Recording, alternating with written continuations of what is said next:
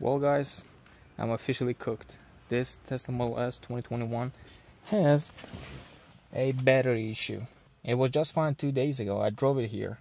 And right now the cell imbalance is fluctuating from 188 millivolts up to two and a half thousand millivolts.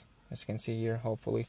of course, I have all these alerts saying that the battery management system detected a brick voltage measurement that is inaccurate something happened while I was sitting here.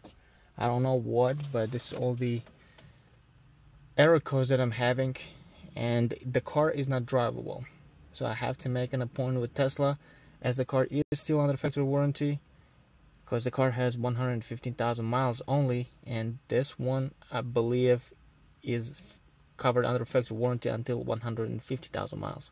So finger crossed that the Tesla will fix this issue. They will replace the battery pack, hopefully, and everything will be good as it was.